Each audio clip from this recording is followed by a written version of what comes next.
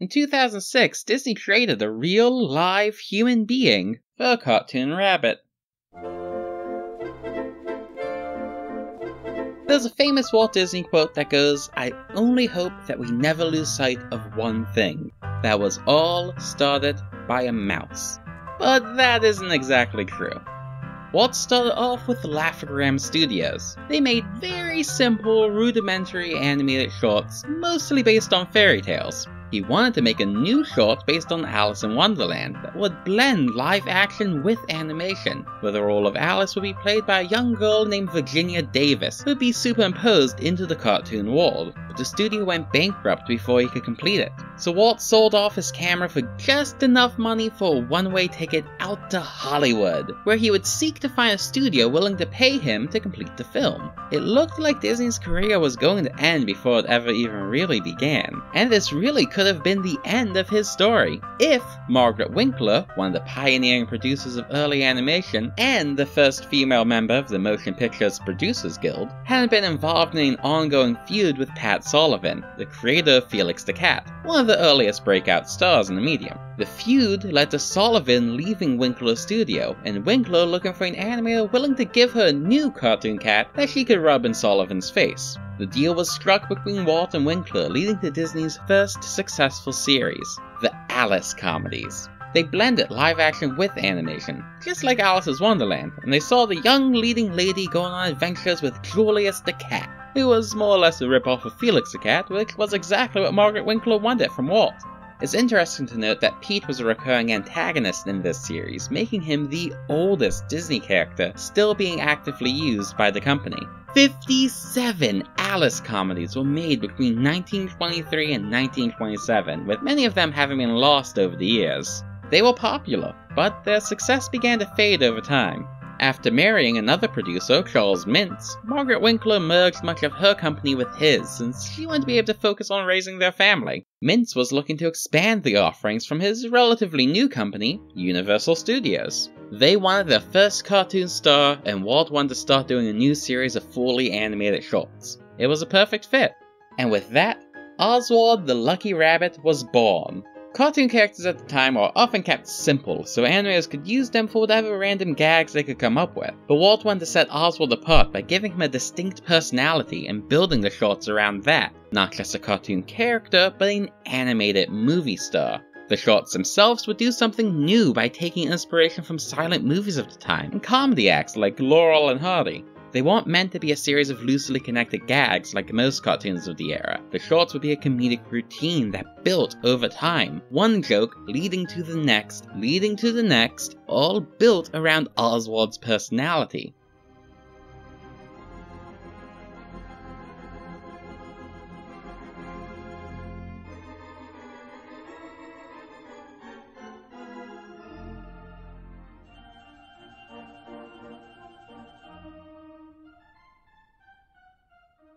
This might all sound simple and obvious looking back at it now, but at the time this was revolutionary.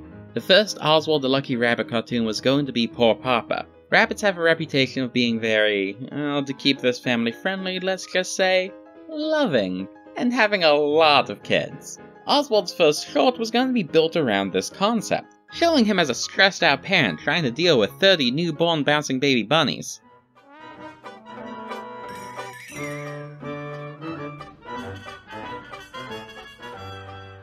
Universal liked it, but thought that a cartoon about a middle-aged character experiencing the difficulties of parenthood might not be relatable to younger audiences. They also asked for tweaks to the more sketchy style of the animation, so Walt and his partner Ub Iwerks went back to the drawing board. Literally! They came back with a younger, more energetic Oswald and a more polished look for the Lucky Rabbit's first officially released cartoon, Trolley Troubles, in 1927.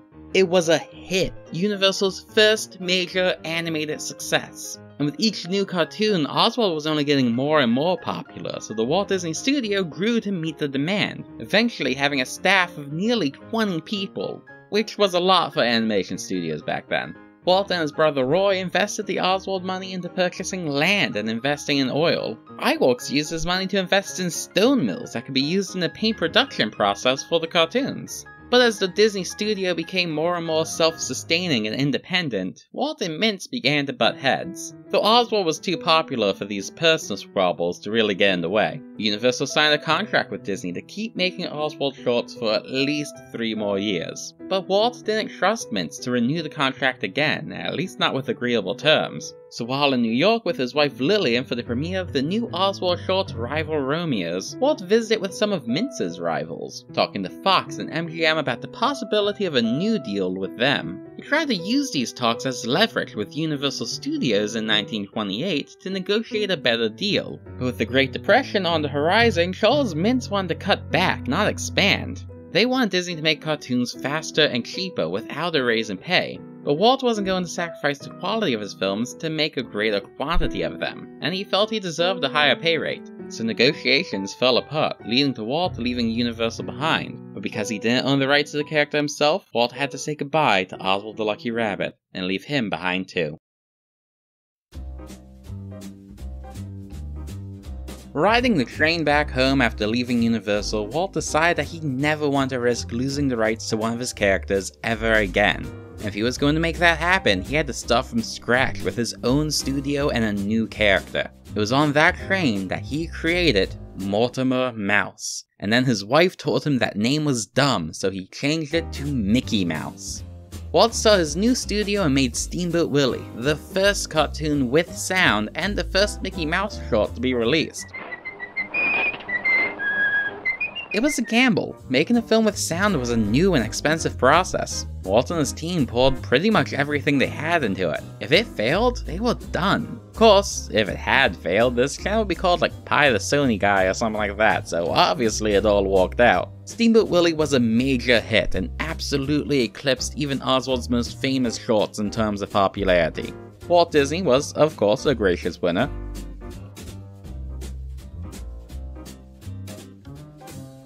Though Oswald did still find some success with Universal for a while, Margaret Winkler produced a few more cartoons for Uni, keeping more or less the same style as Disney. But Universal knew they needed a Walt in charge, so they got a man named Walter Lantz to take over as producer for the character. You know, close enough. With his first short as producer releasing in 1929, Race Riot. Oh, that's an unfortunate choice of a name for it. Let's just move on. Over time, Oswald's design transitioned to be less like the unique and full of personality version that Disney had created to be more like the generic, cute cartoon characters of the time. Rounder eyes, friendlier smile, they made him wear a shirt. He became an almost entirely new character slowly over time. And then, with the release of The Case of the Lost Sheep in 1935, he really became an entirely new character. She recast Pietro? He now looked much more like a regular rabbit with a design based on an entirely unrelated cartoon Walter Lantz had worked on previously, The Fox and the Rabbit in 1935. This started a new era for Oswald as the shorts became softer, more safe, more cuddly, aimed at a younger audience than before. Something closer in tone to the Winnie the Pooh books than what Oswald used to be known for. In a more direct ripoff of Winnie the Pooh, Oswald was one of the stars in a series of comics about stuffed animals brought to life, alongside Woody Woodpecker, who was a robotic tin toy with a screw loose, explaining his crazy behavior? It was a weird mix that didn't borrow much from these cartoon characters beyond their names. Even having Oswald adopt two kids, Floyd and Lloyd. These multiple redesigns were just one part of the identity crisis that Oswald went through during the Universal years. During this time, sound became the norm in cartoons, but Oswald never really had a steady voice actor. Mickey Rooney was probably the most notable voice for him, and he did have the job for about a year. Then, the treasure belongs to you. Goody. After he left the job, the role of Oswald's voice was mostly just passed around the animation staff like a hot potato.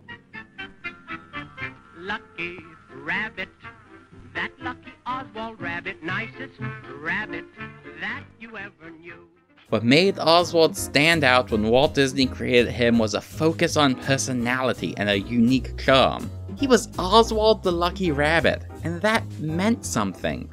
But now, everything from his voice to his appearance to his personality changes from short to short. He continued to drop in popularity until 1951 Oswald made his final cartoon appearance for Universal, a cameo in the Woody Woodpecker polka. Once possibly the most famous cartoon character in the world, Oswald went on to fade into obscurity after over 20 years with a company that never really had a clue what they wanted him to be.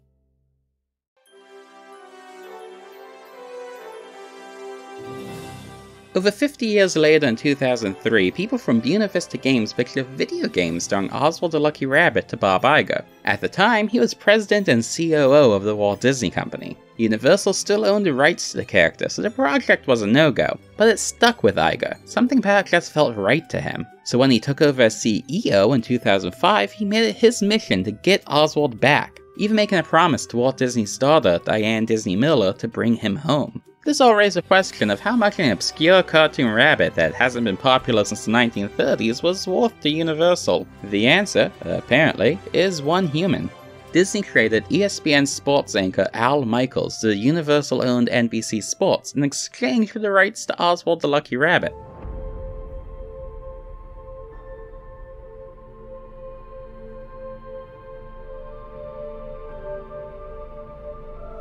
A real live human being for a drawing of a bunny. Of course, it wasn't just any doodle, it was a very meaningful cartoon character to the company and to the Disney family. Walt's daughter, Diane, even commented about how she appreciated that Iger was a man of his words and how much fun she thinks it'll be to have the character back. The grand plan for Oswald's return was centered around the video game project that would grow into Epic Mickey, as that was struggling to get off the ground, Disney started quietly reintroducing Oswald. A t-shirt here, a DVD compilation there, baby steps. But still steps. In 2007, Disney teamed up with Junction Point Studios, a new game company founded by Warren Spector, producer of Deus Ex. He had a lot of experience making games in the 90s and he was hugely passionate about Mickey Mouse, old Disney shorts, and Oswald the Lucky Rabbit. There was a clear vision here to tell a story that could both revitalize Mickey as a real character again, instead of just treating him as a corporate mascot, and to bring Oswald the Lucky Rabbit back into the spotlight in a big way. This was Epic Mickey. Released in 2010, it was a dark tale about the Wasteland, a world full of forgotten and unloved cartoon characters. Oswald was the king of this lost realm, but the Phantom Blot terrorized this land and the Lucky Rabbit was powerless to stop him.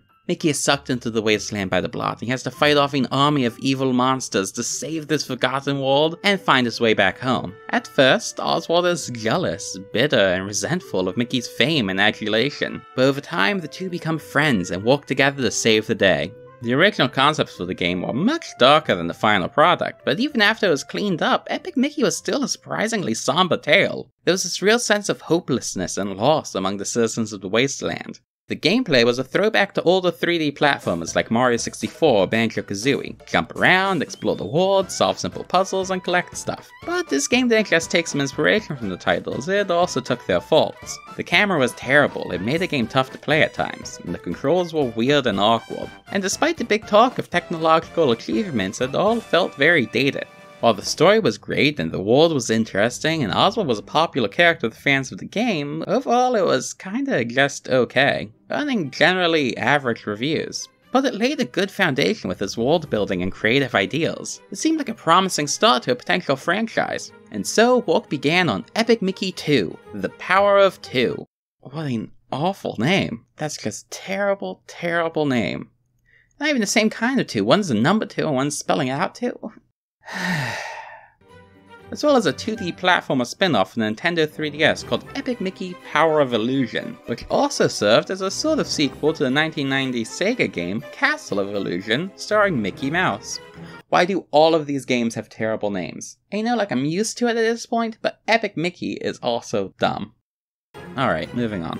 These contain the story of Oswald and Mickey going from rivals to brothers and saving the wasteland from nefarious foes. And they fixed a lot of issues with the first game, but they wound up creating a whole host of new gameplay problems. They received worse reviews than the original, but still not necessarily bad reviews. The sales numbers, however, well, they were necessarily bad. Epic Mickey 2 only sold about a fourth of what the original did, despite being on three times as many consoles. It was bad. So bad that it forced Junction Point Studios to shut down completely. The planned finale to the Epic Mickey trilogy, as well as the kart racing spin off, were cancelled. And Disney decided that big console games in general weren't really a good idea anymore outside of Kingdom Hearts. Oswald's grand return to the spotlight fizzled out. Although the character isn't completely forgotten, there's plenty of merchandise, and you can meet Oswald in a few of the theme parks. Tokyo Disneyland uses him as a host for their Easter celebrations, California Adventure has a shop named after him, Disneyland Paris even did a show with him for a special event a few years back.